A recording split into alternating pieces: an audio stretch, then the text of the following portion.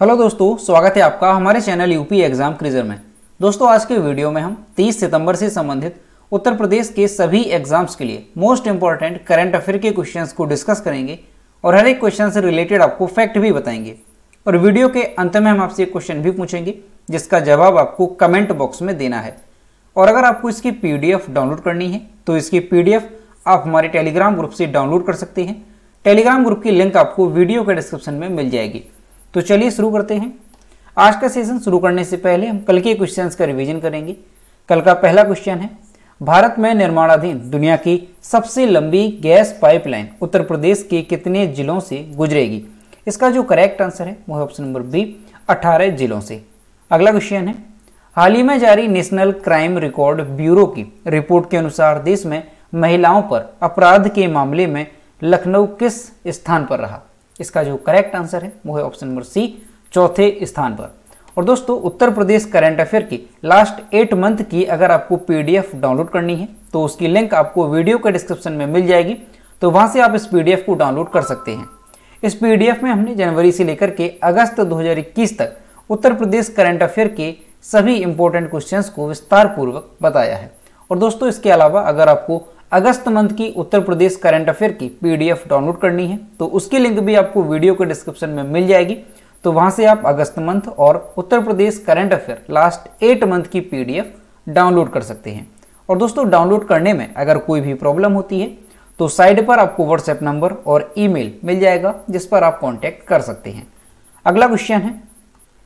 सितंबर 2021 में राष्ट्रीय cadet corps NCC के महानिदेशक के रूप में किसे नियुक्त किया गया है? इसका जो करेक्ट आंसर है, वो है option number A Gurbirpal Singh को। अगला क्वेश्चन है, इंग्लैंड के निम्न में से किस ऑलराउंडर क्रिकेटर ने टेस्ट क्रिकेट से संन्यास लेने की घोषणा की है? इसका जो करेक्ट आंसर है, वो है option number B Moeen Ali. अगला क्वेश्चन है, हाल ही में भारतीय वनस्पति सर्वेक्षण बोटेनिकल सर्वे ऑफ़ इंडिया ने अपने नए प्रकाशन प्लांट डिस्कवरी 2020 में देश की वनस्पतियों में कितनी नई प्रजातियाँ जोड़ी हैं? इसका जो करेक्ट आंसर है, वो है ऑप्शन नंबर बी दो सौ सड़सठ। अगला क्वेश्चन है, निम्न में से कौन सा राज्य पुरुष जूनियर हॉकी विश्व कप की मेजबानी करने वाला है? इसका जो करेक्ट आंसर है, वो है ऑप्शन नंबर डी ओडिशा। अगला क्वेश्चन है, भारत का सबसे बड़ा पामेटम कहाँ स्थापित किया गया? तो ये स्थापित किया गया है उत्तराखंड में, यानी ऑप्शन नंबर ए यहाँ पर करेक्ट होगा। अगला क्वेश्चन है निम्नलिखित में से कौन सा रेलवे स्टेशन पूरी तरह से सौर ऊर्जा से संचालित होने वाला पहला रेलवे स्टेशन बन गया है? इसका जो करेक्ट आंसर है, वो है option number C Chennai central railway station अगला क्वेश्चन है, सितंबर 2021 में निम्नलिखित में से कौन सा देश संयुक्त अरब अमीरात के दूसरे सबसे बड़े व्यापारिक भागीदार के रूप में उभरा है? इसका जो करेक्ट आंसर है, वो है ऑप्शन नंबर बी भारत. अब दोस्तों, शुरू करते हैं आज का सेशन आज का पहला क्वेश्चन है उत्तर प्रदेश के पूर्वांचल में सोलर एनर्जी से चलने वाले छोटे कोल्ड स्टोरेज स्थापित किए जाएँगे। कोल्ड स्टोरेज का नाम क्या है? इसका जो करेक्ट आंसर है, वो है option number A, Pusa sun fridge Uttar Pradesh के पूर्वांचल क्षेत्र के किसानों को बहुत जल्द बड़ी सौगात मिलने वाली है। कृषि और प्रसंस्कृत खाद्य निर्यात उत्पाद विकास प्राधिकरण, एपीडा को Indian agriculture research institute IARI Pusa ने सोलर एनर्जी से चलने वाले छोटे कोल्ड स्टोरेज की पूरी श्रृंखला बनाने की तैयारी कर रहे हैं। इसका खर्च बहुत कम होगा और छोटे किसानों के लिए बहुत फ़ायदेमंद साबित हो सकता है। घर पर लगाए जाने वाले इस कोल्ड स्टोरेज का नाम पूसा फार्म सन फ्रिज है। तो दोस्तों, यहाँ पर आपको ध्यान रखना है कि उत्तर प्रदेश के पूर्वांचल में किसानों को जो है एक बहुत बड़ी सौगात मिलने वाली है। अब दोस्तों, उत्तर प्रदेश के पूर्वांचल क्षेत्र के जो किसान हैं, उनके साथ एक बहुत बड़ी समस्या रहती थी।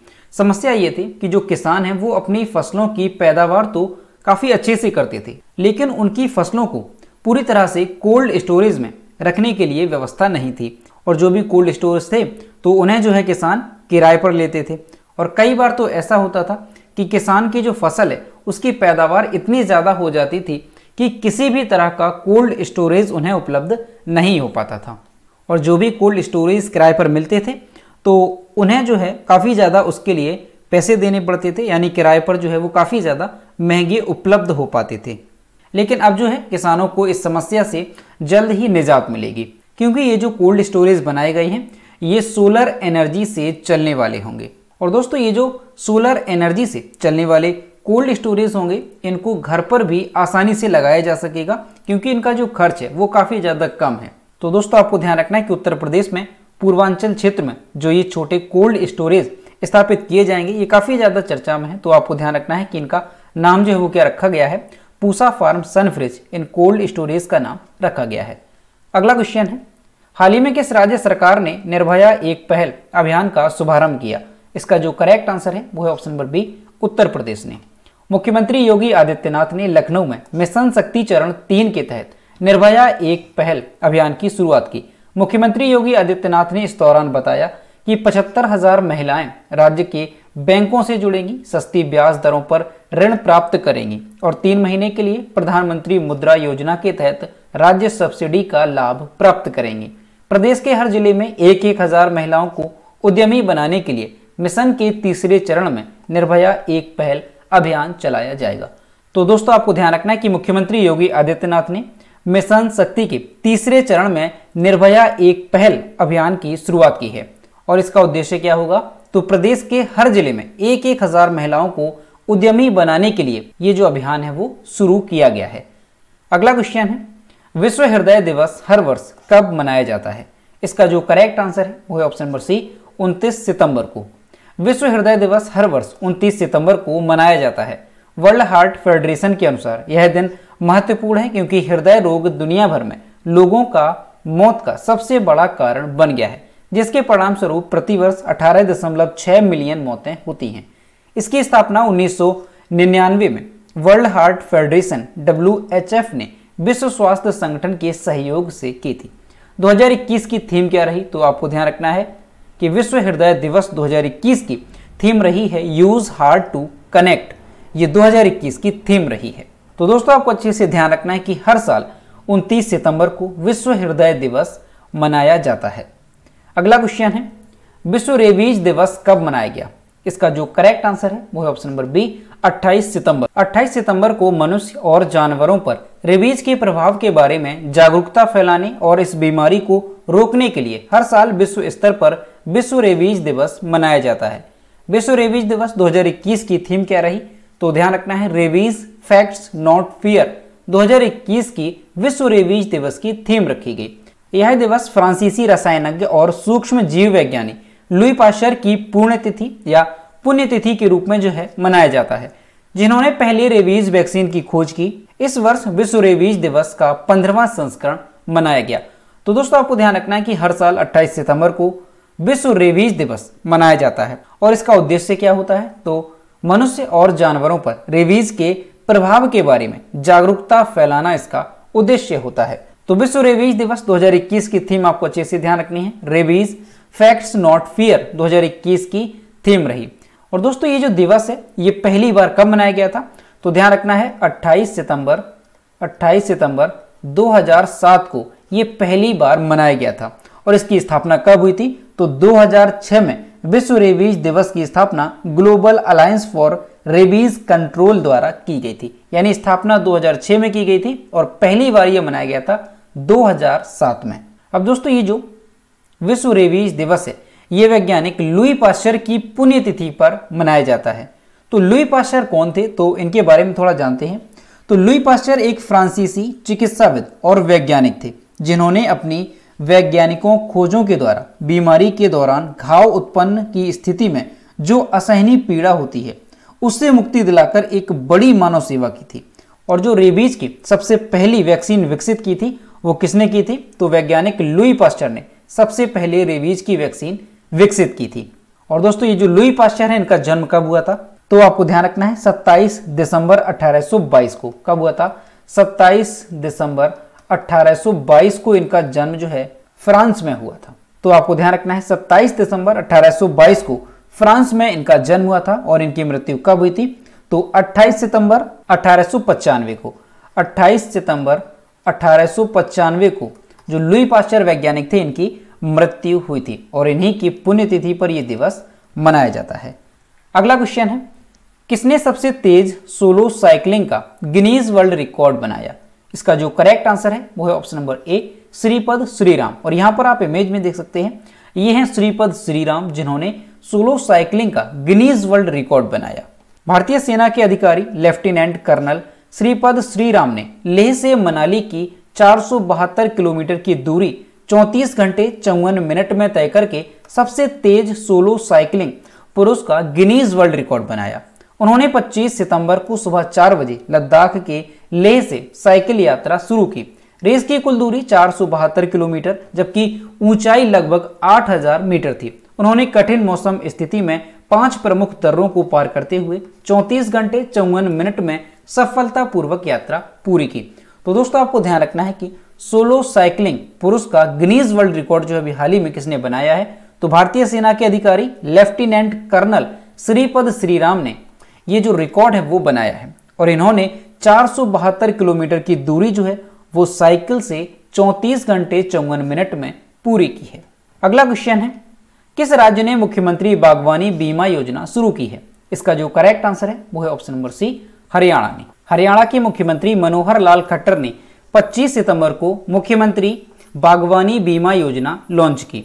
उन्होंने चंडीगढ़ में आयोजित राज्य स्तरीय कार्यक्रम के दौरान किसानों को फ़ायदा पहुँचाने के उद्देश्य से इस बीमा योजना को लॉन्च किया है।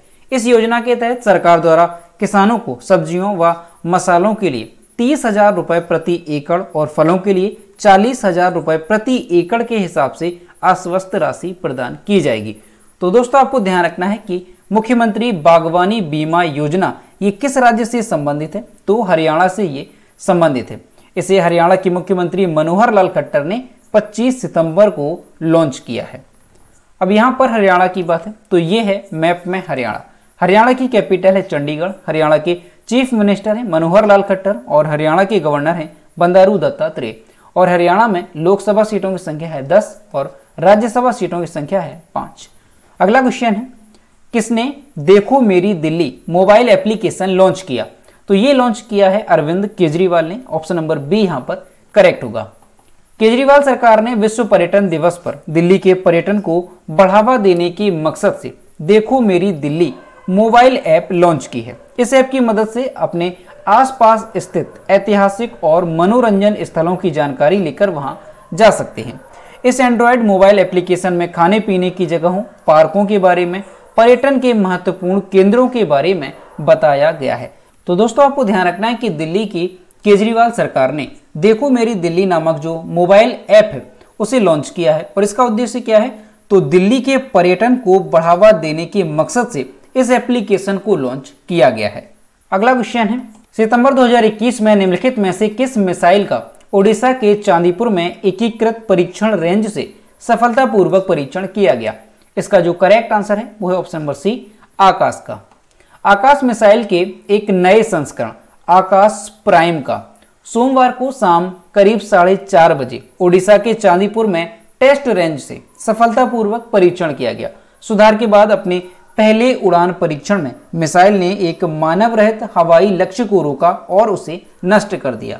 रक्षा अनुसंधान और विकास संगठन, यानी डीआरडीओ ने समाचार विज्ञप्ति में कहा कि मौजूदा आकाश प्रणाली की तुलना में आकाश प्राइम बेहतर सटीकता के लिए एक स्वदेशी सक्रिय रेडियो फ्रीक्वेंसी सीकर से लैस है। आकाश प्राइम और आकाश एनजी दोनों आकाश मिसाइल के वेरिएंट हैं, जो भारत की पहली स्वदेश निर्मित medium surface to air missile है।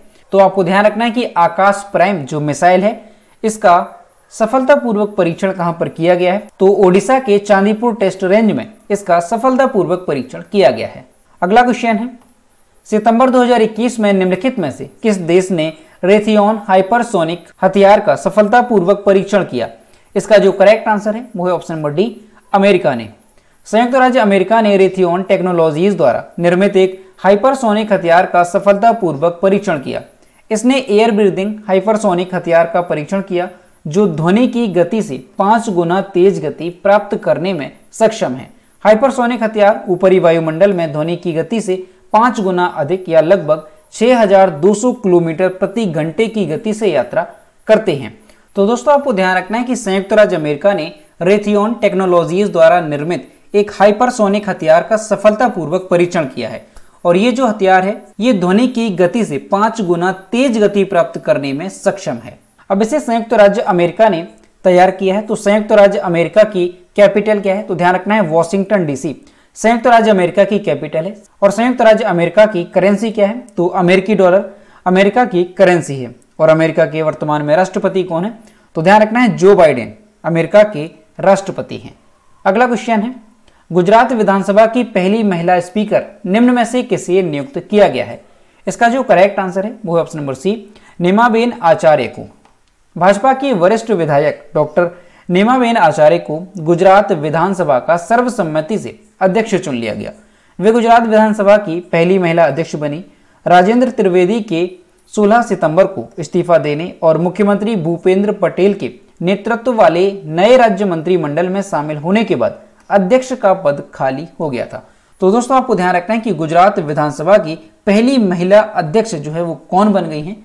तो ये बनी है भाजपा की वरिष्ठ विधायक डॉक्टर निमाबेन आचार्य। तो दोस्तों ये थे 30 सितंबर से संबंधित उत्तर प्रदेश के सभी एग्ज़ाम्स के लिए मोस्ट इंपॉर्टेंट करंट अफेयर के क्वेश्चन जो कि हमने डिस्कस किए।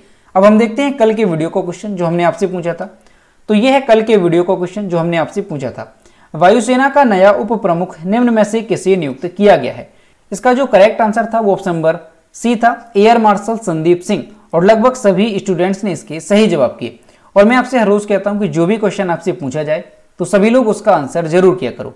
तो यह है आज का क्वेश्चन किस राज्य के नागा खीरे को जीआई टैग दिया गया है? ऑप्शन नंबर ए है मणिपुर बी है राजस्थान सी है नागालैंड और डी है केरल।